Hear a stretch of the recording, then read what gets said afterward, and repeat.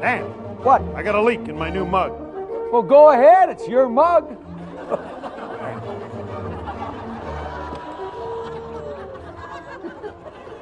Hey, they're moaning and applauding. Uh huh. It's kind of like a dream date, isn't it? Well, for you, this is the last act. This isn't an act, it's a cry for help. Repeat me your name, that after your demise I may inform your family. My family already knows my name. You'll never get off the ground. You, sir, you are a one man idiot. And you're a two faced buffoon. If I were two faced, would I be wearing this one?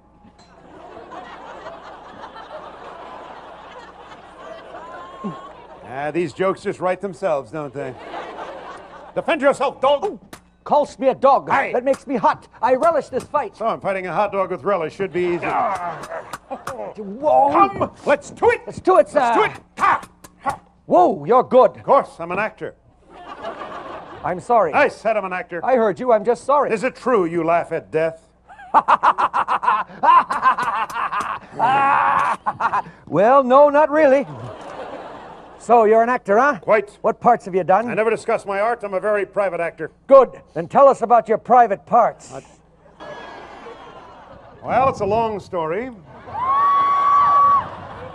Now the shoe is on the other foot. Yes, but the socks don't know the difference.